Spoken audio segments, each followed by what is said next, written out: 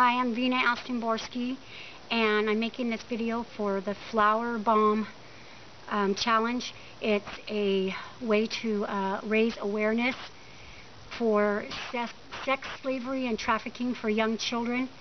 Um, it's a horrible crime. A lot of children are being sold into uh, uh, sex trafficking. And uh, I'm going to donate at flourbomb.com.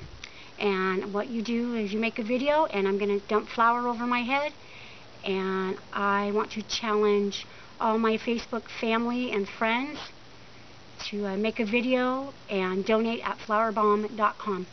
Here you go. Help stop this horrible crime with, for sex trafficking. Bye.